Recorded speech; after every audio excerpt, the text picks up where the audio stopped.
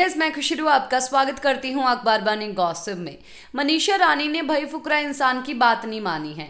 फुकरा इंसान को एक ड्रेस वो एक्चुअली मैं देख रही होती है कि ये पिंक पिंक कलर की ड्रेस पहनूँगी। फुकरा इंसान वहाँ पे आते और बोलते कि नहीं, तुझे नहीं पहनना, आज सब लोग पिंक पिंक हुए हुए हैं, तुझे अलग पहनना है, तुझे अलग दिखना है। पर फिर भी जो है मनीषा वही ड्रेस पहनती है। मैंने आप लोगों को बोला था कि देखेंगे कि वो क्या करेगी, बात मानेगी या नहीं मानेगी।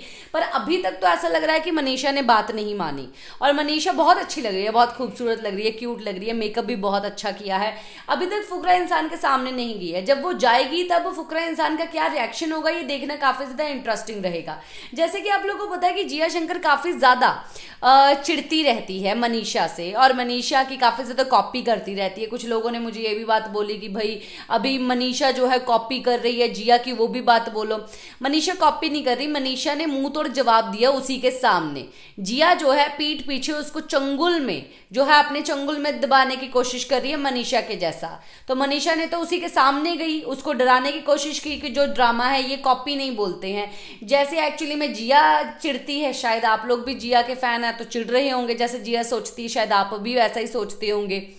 यहाँ पर अभी तो नहीं मानी है बात। जिया क्या मालूम ये बात बोले कि अब मैंने पिंक पहना था, इसने भी पिंक पहन लिया, ऐसा है, वैसा है। मुझे लगता है जिया क्यों आप भी ऐसे ही बोलेंगे? बताइए ज़रूर, क्या बोलना है? इसी के साथ मैं लेती हूँ इजाज़त, नमस्कार।